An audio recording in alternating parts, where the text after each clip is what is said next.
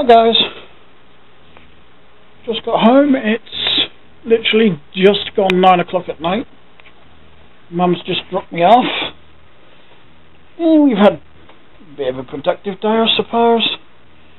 I had a bit of a tidy up in my uh, my part of the workshop and my little broom cupboard, as I call it.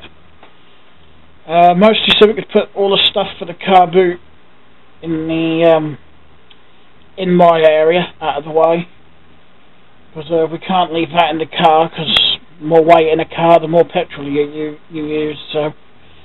That's all done. We cleaned the car out as well inside and out. I've got to fix that on the computer. I don't know something something to do with AVG uh, da, da, da, the program can't start because MFC 110U.dll is missing from your computer. Try installing the program to fix the problem. AVGUI.exe is just a error.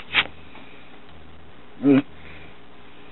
I've done that ever since I uninstalled that um, AVG PC tune-up trial version. Anyway, it's not really an issue. Um, what was I talking about before that distracted me? Oh yeah, cleaning the car. Yeah, we cleaned all that all the car out inside now. I checked the coolant. That's at a stable level now. topping up a little bit, but because it did um, when I first checked it when Mum got the car, it was the header tank was empty. And that shouldn't have been empty. There was just nothing in it. So I filled it up with some liquid up to the minimum or the max mark. And a couple of days later, that was near enough empty again. So I poured in some coolant that I had here. And uh, that's um, stayed at the same level now. So I'm guessing that's probably filling up the rest of the system. Someone had obviously let that uh, get low and not bother checking it. Oil's fine. It's black but it looks like it's just from you know the usual engine filth because the oil isn't thick and gloopy and it doesn't look old, it just looks a bit black. So I'd say that's fine, at least for the time being. Uh, yeah, it's a good little old 4x4. If I'm honest, I do love the thing. Um, apart from that, I didn't really do a lot over at Mum's apart from basically hung out and had a nice roast dinner with a nice roast pork, which we do most Sundays. Uh, so yeah.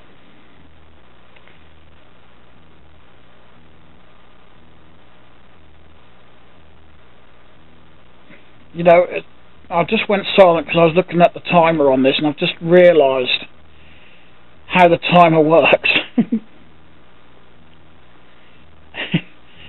It's got the red digits which are indicating um, to me how long I've been recording for. And then it's got some white digits that don't do anything. And I'm guessing the white digits indicates how much time I've got left from the moment I turn the camera on. So I've got about 30 minutes. I don't intend to go on for that long but uh, I always say that and end up rambling about stuff uh, so, let's get everything up and running on the computer. Get Yahoo signed in, get Skype signed in, get Firefox up. Won't be going over to Mum's tomorrow, which will give me a chance to have a whip round and a bit of a tidy up up here. Got that green bag to go down to the rubbish. Coat to hang up, just a general tidy up put those scales underneath this coffee table. Uh, that's what I did after I finished with the vlog last night. I uh, built up that Lego house, so that was a good bargain, 20 quid. And it got those instructions and vintage catalogues. And I got the house, the boat, the yellow mail van down there in the fire truck, and this is all that's left in the tub. Still quite a lot of bricks and whatnot, uh, all for 20 quid. Mum still thinks that was a lot, but like I said, she, like I've said before, she, she's uh, not familiar with the value of Lego, especially these days. Because um, I know what I've got there is worth a lot more than what I paid for it. So, it's a definite bargain for my collection. But I haven't found anywhere to put it yet. that shelf is all full. Them shelves are full. I'll think of somewhere. Oh, I did think of something I could do with these. Because I thought, when I get my larger tables in here, I've mentioned this on the Lego uh, channel, I want to get some proper tables in here, higher than this, and at least go from the end of the um, bookcase, because that's what they technically are, meant to be, bookcases. Not being used for books though. Anyway, I want to go from there to, I don't know, possibly round about the um, end of this TV cabinet. But I'm still toying with the idea of getting rid of this because I don't use it.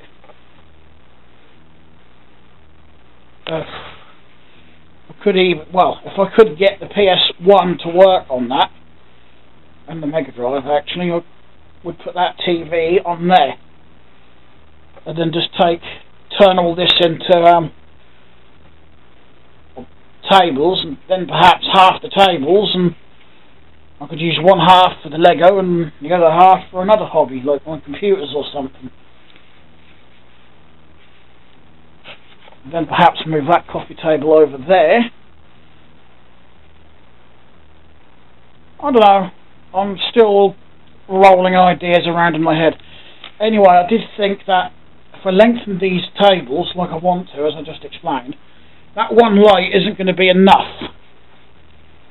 But I do have plenty of these, so I could in fact put another two or, or however many I wanted up really. Or I could use the fluorescent light I've got in the cupboard. a couple of bits of wood out like that for a bracket and screw the fluorescent light up. There's a, a multitude of options I could have, but I can't remember the last time I turned that on. In fact, the last time I turned that on was uh, when my brother stayed here for a few days after he had a fallen out with his girlfriend. Um, obviously that's personal, so I won't go into details about the whys and what happened. But uh,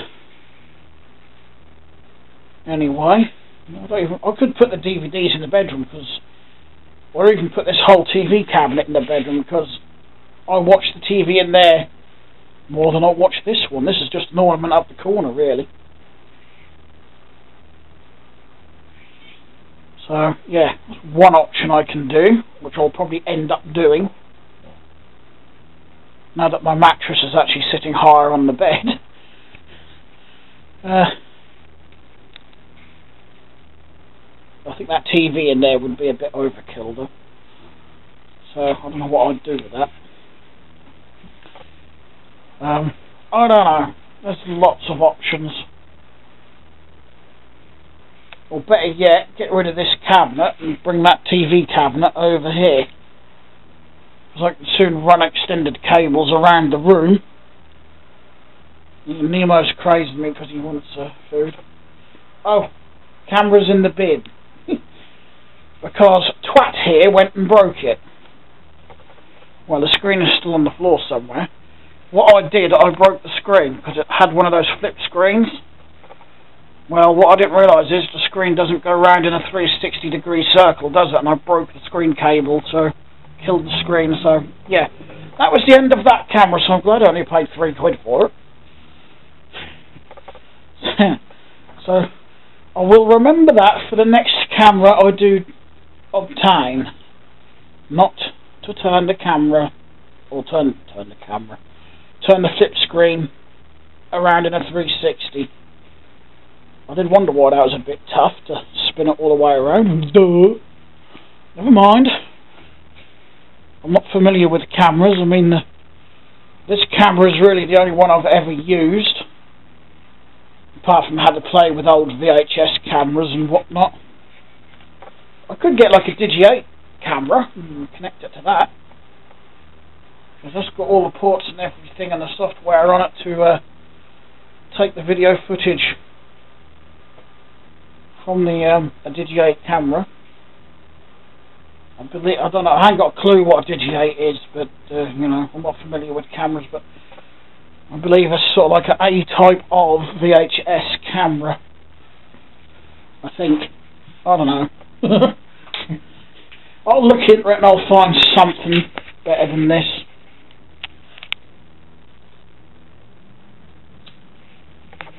Left over from breakfast this morning. um, as I said in yesterday's vlog, my KVM switch should arrive either tomorrow, which is Monday the, I've forgotten now, I've lost track of the dates. Is it 19th? Was it the 18th? Was it the 20th? What's today's date? 17th, so it'll be the 18th tomorrow. Uh, or Tuesday the 19th, according to the estimated delivery on eBay. But that is just an estimated delivery, so... Well, actually, the estimated delivery on eBay says either Tuesday the 19th or Wednesday the 20th. But I know that's not really reliable on eBay because I've had things arrive earlier. Just depends when the sellers posted them out. I mean, some sellers are like me and really hang about person parcels at times. I don't always. Because things hadn't gone to plan last week, so I had to postpone it, but uh, it will get posted. Uh, we're still making plans at the car boot sale next week, or for the car boot sales next week. Uh, it'll be on at Stalham Friday, Aylsham Saturday, then again Stalham Sunday, and because it's Bank Holiday Monday, Stalham also holds one on a Bank Holiday Monday. But, as there was only two rows at last Friday's car boot at Stalham, me and Mum probably won't uh, go to that one, because really most of the money we made came from the dealers that were walking around before the car boot opened. Oh, they can be annoying. They're like a plague of locusts. As soon as you've got your back doors open on your car, they're there looking in and while you're trying to unpack and set up, they're looking through all your boxes and whatnot to see what you've got. Oh, that's annoying. So we've decided we're not going to unpack the car until 10.30. Half an hour before the car boot opens to the public. The reason being, the um, organiser's rules is that at 10.30 all stall holders must remain at their stall unless they need to go for a wee or they're going to get a cup of coffee from one of the um, refreshment stalls or, you know, something to eat, something like that. A legitimate reason that isn't going around the stalls buying bits and bobs. Because like I said, there's a lot of dealers that go to these that frequent them a lot, and if they haven't seen you there before, they'll come around your stall like a plague of locusts see what they can get off you at stupidly cheap prices. and uh, when you go for a walk around the car boot, you'll find the items you just sold on their stall. but as I said, I don't mind the ones that are actually honest and you know that they're dealers. But like Mum had that woman that bought the handbag off her, she was acting like, this woman was acting like, you know, she wanted it for herself and then went and put it on her stall. Well, a lot of the other dealers I come across don't act like that. You know, they will say, "Oh, well, that's too much for me," because they are a dealer. Well, actually, a lot of them did actually say, "Well, it's too much for me," but someone else later later on in the day would pay that price. You know, basically saying it's worth what you're asking, but I can't pay that price. That's what they're pretty much saying. and I don't mind that because at least they're, well, like I said in the last vlog, they're being honest. You know. I'm a dealer. I'm only here to buy your stuff to sell on. so, well, that woman though, uh, no, be honest. If you want to put it on your stall, then by all means, you know, you've bought it from us, you do what you like with it. But yeah, for that reason, I just felt intimidated when you've got like four or five people all around your stall and you haven't even got half the stuff off your car yet. So, I think what we'll do, we'll just set the table up and we'll wait. Because that's what a lot of these other regulars do. They won't unload the car straight away, they'll just pull up, perhaps put the tables up and then walk around the car boot site until it's until the um, organizer comes around with his megaphone and gets you all to go back to your stall unless you need to use the toilets or whatever. They're only Portaloo toilets, you know, there's nothing special. Although usually they are clean. Well, they're clean and tidy until the car boot opens and you get your customers and instead of putting like the hand towels from drying the hands down the toilet where they're supposed to go, they just throw them up in the side, up in the corners. Just, ugh. I don't know why people have got to do that. But uh, anyway, speaking of toilet, I must have picked the camera up because I need to go. So I shall be back in a few. I'm back. Well, as you can see, I'm still in the bathroom, still on my toilet. Thought I'd turn the camera on while I'm taking a dump. Ah, if you believe that, you'd believe anything. Look, I'm fully clothed, I'm not taking a dump at all.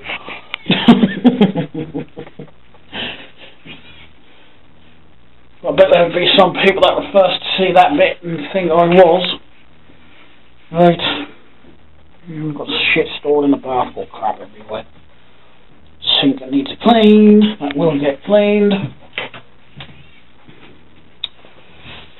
Uh, but as you probably know by now, my flat is usually full of clutter and crap anyway.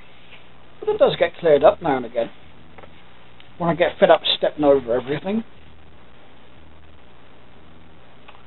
Uh, which actually brings me to what I was thinking about on the uh, toilet. I don't know, it's like your thinking throne, isn't it? You go to the toilet and you always think of something. Um, but I was just thinking about how people live. Because I was looking at the sink and looking at how dirty it was and all the crap in the bathroom and all the junk around here, like the empty Coke bottles. I can't remember if my recycle bin's got to go down. Yeah, it has. Not that you can see it because it's pitch black. Hang on. Here we go. Yeah, it's getting full. Well, I've had such a busy weekend though, I haven't had a chance to do half the stuff I wanted to do. Uh, let me just put a bit of food down for my little boy. I'll pop you on there, and if I go quiet, it's probably because I've gone away from the camera too far. Put a bin bag in the bin. Still haven't done that. Now I can't find the spoon I use for the cat food. I don't use the spoons I use Freety with when I'm um, serving up this cat food. I prefer to keep spoons separately. I've got these blue handled spoons that I use for dishing up little man's food.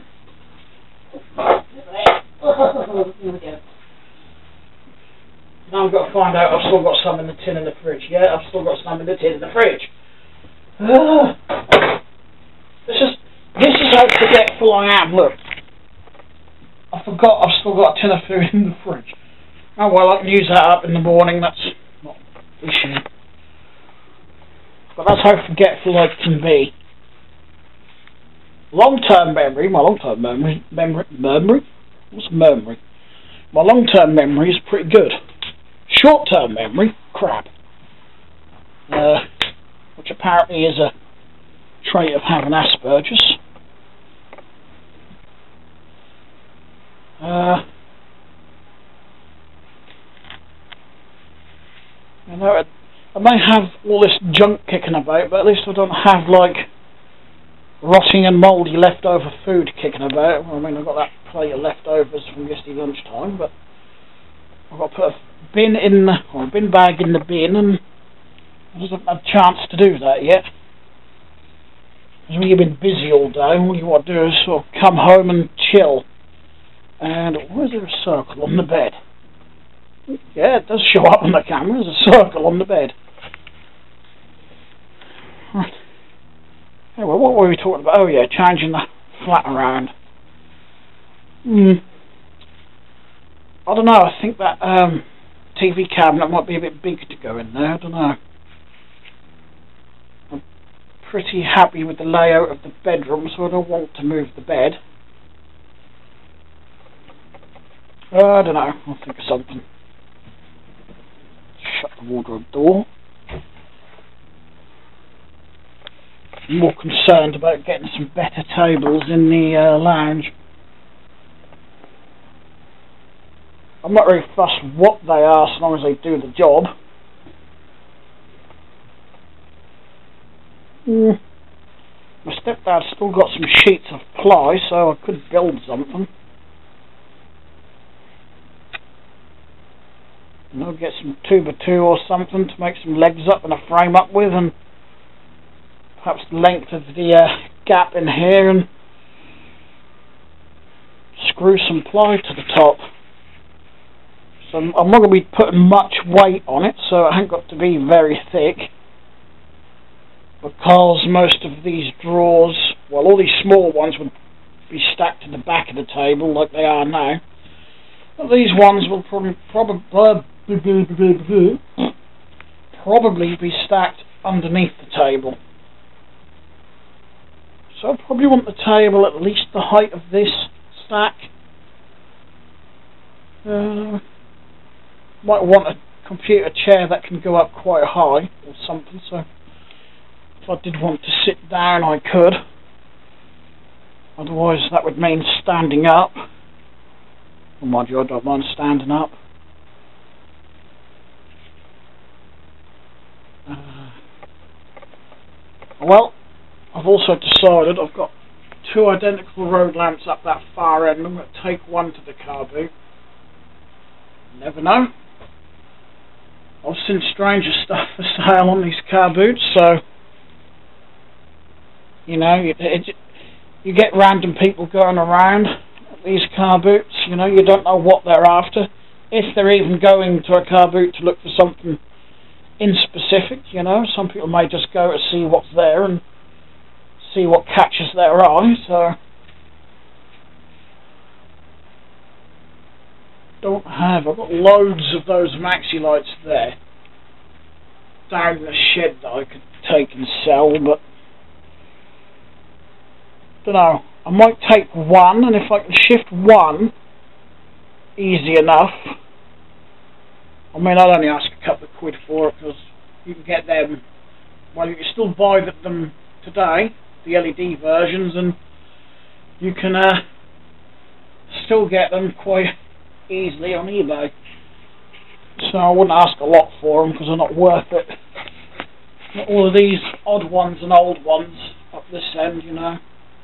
If I ever sold those, I'd ask a higher price for because they are rare. Rare, no longer in production.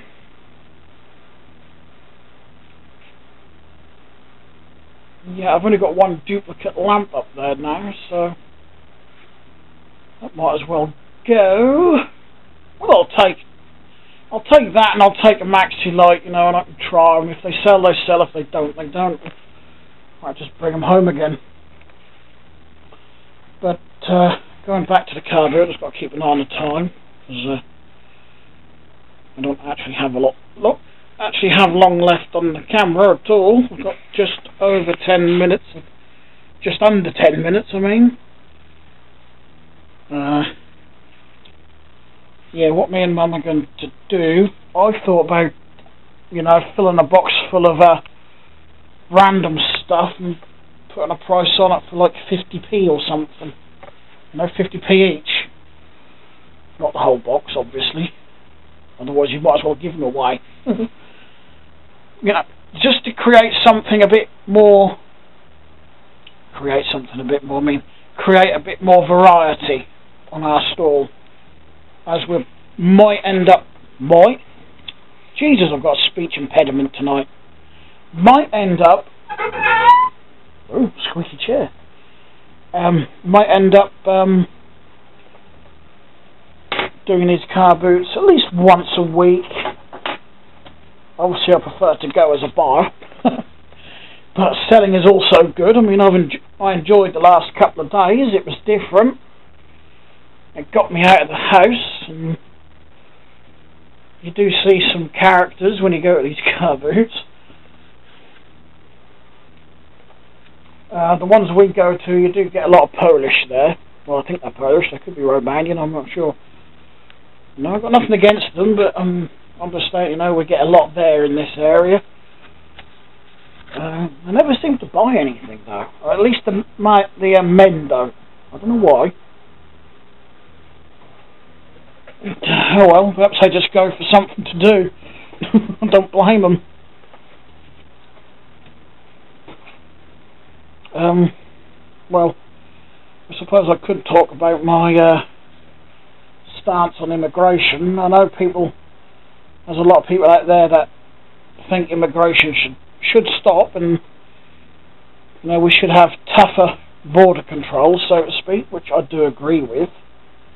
But I'm not blaming any foreigners that want to come over to this country and, well, take advantage of our system because if our government wants to make our system that easy for people to move to this country and take advantage of it, then that's the fault of our government and not the um, foreigners that come over. That's the way I see it. because I'm sure if the tables were turned and this country was rough and we were all moving away, we'd do the same thing. We'd move to the to a country where that was easier to move to, wouldn't we? But, uh, you know why I see it. So long as Im the um, immigrants are all legal with all their paperwork, you know they've got their visas, their work visas, you know, and they earn their living here. Even you know if it's whatever it is, running a corner shop or running a business or whatever, then I don't have a problem with it. It's the ones that come over illegally and then somehow manage to claim our benefits and claim our, well, you know, claim whatever they can and or even work over here. Then they're the ones I think we should uh, crack down on and they should be deported until they can come back legitimately.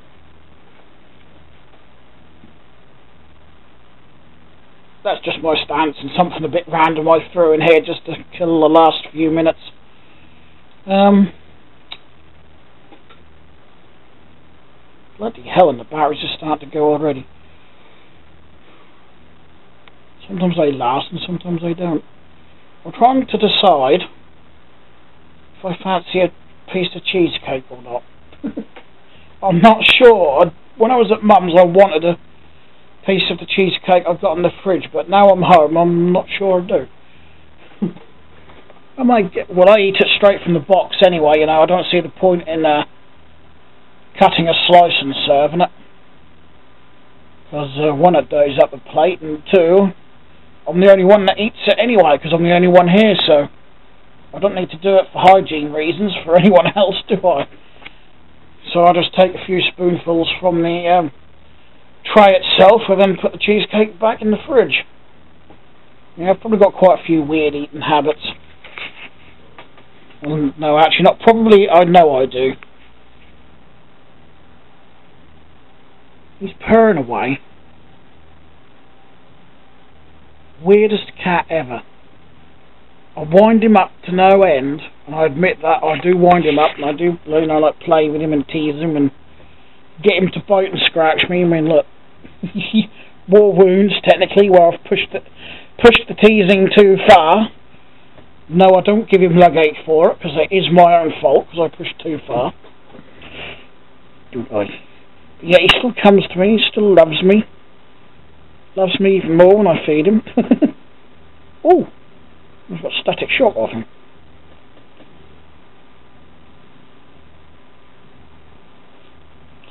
Yeah, we're getting pretty close to filling the card up now, so I think I'll end the video and I'll get this one downloaded to the PC as well as the um, Lego video I made this morning before I went out. And uh, probably shoot the Lego one up to YouTube tonight. And I'll get one up on the main channel tonight as well. I do want to aim for at least one video a day on the main channel. Obviously I can't do that with the Lego channel. Um, that'll be probably once every now and again. Because Lego is just a hobby, you know. Whereas the car booting and the fixing up of bikes and selling them is what I do to get the extra pocket money to, well, buy the Lego. so, uh, yeah, you know, if you don't actually get off your ass and do something, then uh, you're not going to get the money you want. You know, money's not just going to land in your lap. Anyway, if you liked the video, thumbs up. If you didn't, thumbs down. It helps either way, that's entirely your choice. Uh, thanks for watching, and uh, until the next video, I'll talk to you again soon. Bye.